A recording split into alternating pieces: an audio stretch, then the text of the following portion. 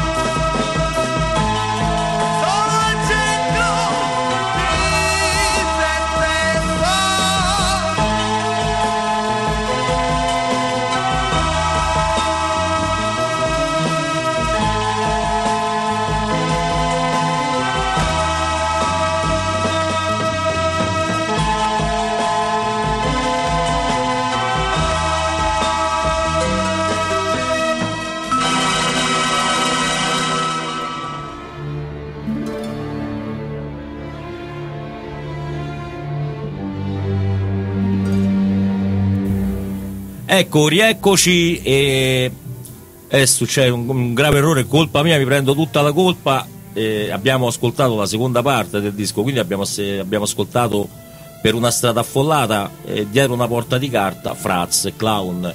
Eh, questo è dovuto proprio alla, alla mia fissazione no?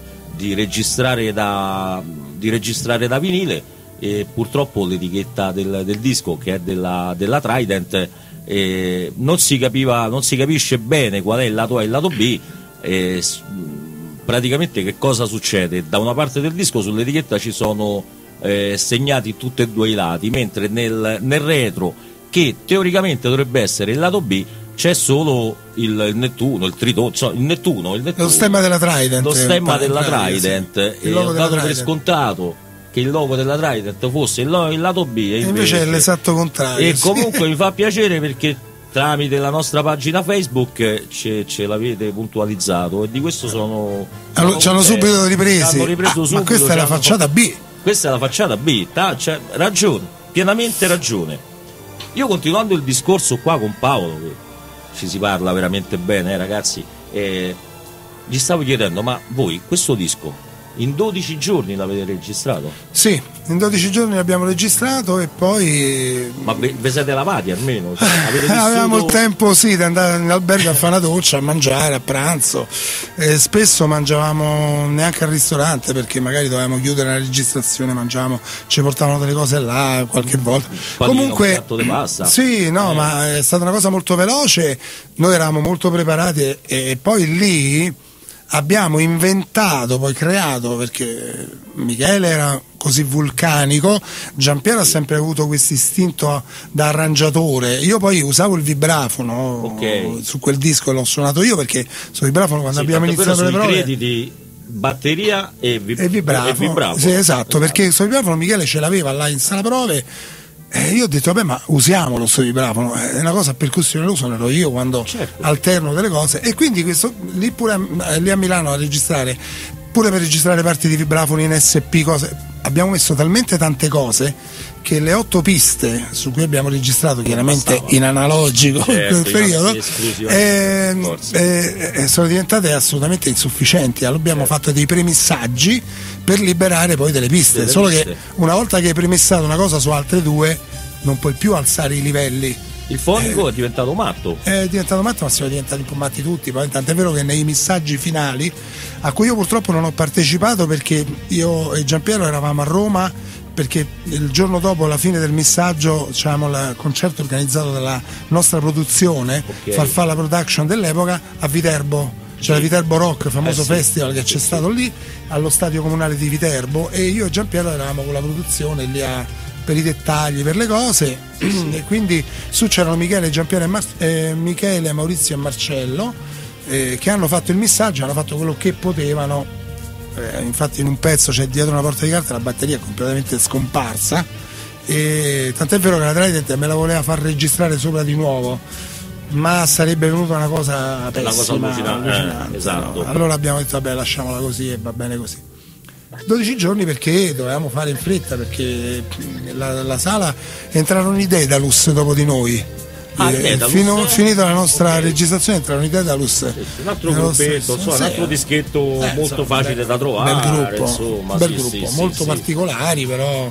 meno rocchettari di noi ma molto un bel, un bel gruppo Un bel gruppo, Sì. sì, sì. Poi ho visto che il, il vostro, la vostra copertina dell'album è, è molto bella, no?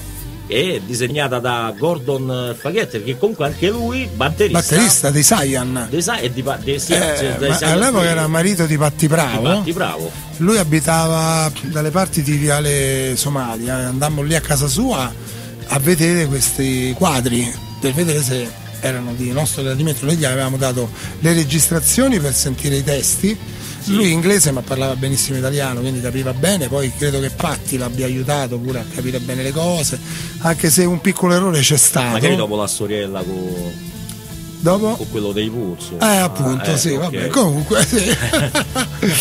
E appunto lui ha fatto solo un piccolo errore che nella parte eh, aperta della Apribile, parte sì. interna, e lui ha citato un po' con i vari disegni i personaggi, clown, il rigattiere, vecchio mercante, tutte le e a un certo punto eh, sul testo c'è, si parla di un soldino di rame Ok. su Luna Park, Sì. su una frase, e lui ha capito o forse non era stato aiutato da qualcuno, ha capito soldatino di rame e sul disco c'è sto soldatino, soldatino. rappresentato in color rame che non si capisce cosa ci possa entrare in tutta la storia del disco, Vedi? però adesso si sa perché. Perché Adesso- c'entra? Perché c'entra? Perché non parlava Perché- bene l'italiano. Perché parlando bene bene l'italiano ha capito soldatino anziché eh, da soldino. Io poi ti chiesi, no? Sì. Prima, di, prima di invitarti, eh, perché poi ragazzi, guardate, io mi sono scritto, cioè, le, le solite- però ci abbiamo qua Paolo, eh, magari rifacciamo un'altra puntata anche da solo, dove poi vi racconto la storia per filo e per segno dei Semiramis. Come però, no?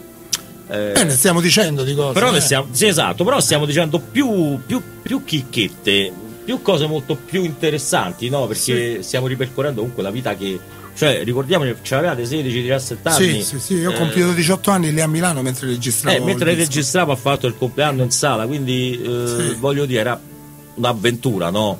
E io effettivamente chiesi a Paolo, ma perché durante la trasmissione non facciamo un pezzo in sala, lo mandiamo dal vivo? E lui giustamente mi ha detto, guarda Pietro, ma eh, è difficilissimo eh, suonare dedicato a Fraz, cioè mi servono due tastiere, cioè, Sì, se- c'è troppa. pe- tro- to- torno a ripetere, le registrazioni. Come avete fatto in 12 giorni? Eh, perché eravamo molto preparati e già sapevamo quello che dovevamo fare. Tutte le parti erano già scritte e, e composte. Là abbiamo diciamo, messo qualche chicca in più a livello di arrangiamenti come le tubular bells, come ehm, delle altre parti di sintetizzatore, perché noi avevamo un Davoli Infatti c'era synth. qualche riferimento no? anche a Oldfield, a Genesis. Sì, eh, sì, sì, sì, Eh. esatto. C'erano delle cose, anche se io devo dire una cosa. sì. In quel periodo, diciamo, quello che ascoltava tanta musica, diciamo, ero più io. E Michele, Giampiero, Maurizio ascoltavano molto meno. Diciamo, eh, io ho citato su quel disco Bill Bruford e, e Guy Evans dei, dei Van der Graaf. Dei Van der Graaf, che poi in due eh, pezzi pure al festival, no? Esatto, in due pezzi ho, ho, eh, preso due tempi di batteria e degli stacchi perché ero fissato, innamorato di questi due batteristi, ma non so se qualcuno se, se sarà mai accorto di questa cosa. Però ecco, mentre veramente devo dire che il- tutte le cose, certo i Genesis eh, già giravano e così, Certo. però tutte le nostre cose, per esempio l'Eminent, Sì. che è la- la- la- il life motive, si dice? Si di, di dice, tutto sì, il disco, no. nel senso che è, è il suono trascinante, Esatto. permanente di tutto il disco.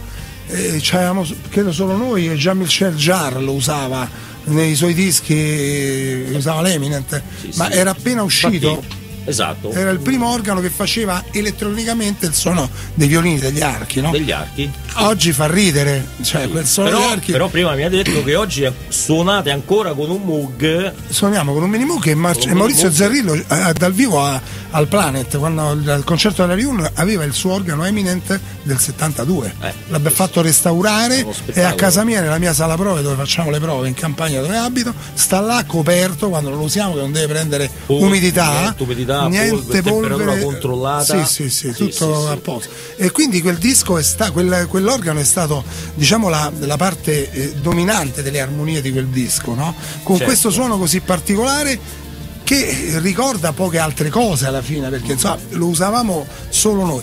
Certo le arie di organo così ricordano inevitabilmente Genesis, Esatto. ma eh, poi ripeto, se voi fate caso quel disco è, impor- è improntato su pochi accordi, non sono accordi difficili, è come l'abbiamo vestito.